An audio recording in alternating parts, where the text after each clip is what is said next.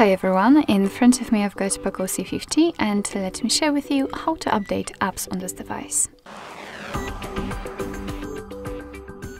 So first of all make sure that you've got the internet connection and I highly recommend to use the Wi-Fi instead of mobile data and then let's enter the Play Store.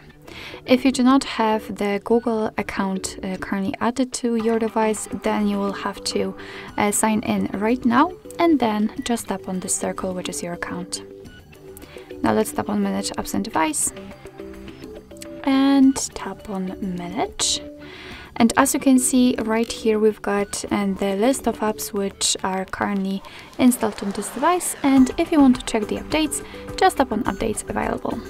And as you can see again we've got some updates and all you have to do is to simply find the apps you'd like to update and mark them right here. Of course, you, you can mark everything, uh, then just tap on this update icon, and from now on your device will simply um, simply download the uh, the updates, and after that they will be successfully installed and uh, applied to the app.